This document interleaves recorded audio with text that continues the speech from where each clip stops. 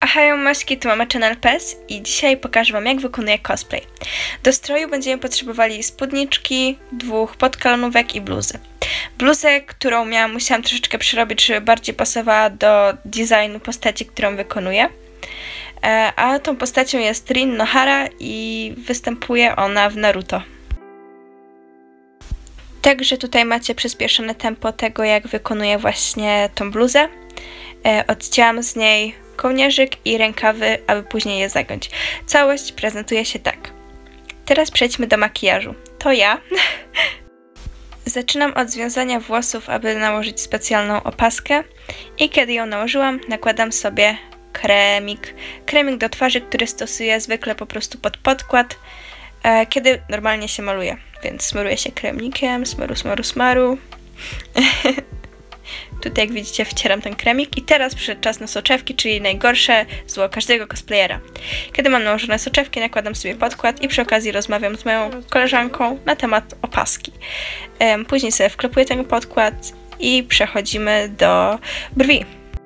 E, jak widzicie, brwi sobie zaczesuję i po prostu wykonuję je tak, jak wykonuję je po prostu w moim normalnym makijażu, czyli używam cienia do brwi i zwykłego pędzelka. Kiedy brwi są już skończone, biorę eyeliner i robię sobie kreski. E, później biorę białą kredkę i robię jakby większe oko. Później znowu chwytam za ten sam pędzelek i cień, którym robiłam brwi i po prostu jakby podkrążam oczka.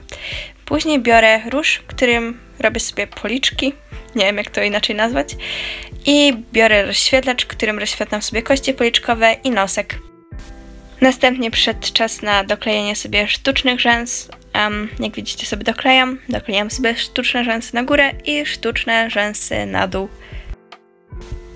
Tutaj dancing z moją koleżanką. Potem chwytam pomadkę i smaruję sobie nią usta. Pomadka jest w kolorze, wydaje mi się, że bardzo naturalnym. Później biorę białą kredkę i zaznaczam sobie krawędzie jakby takich fioletowych pasków, które ma moja postać.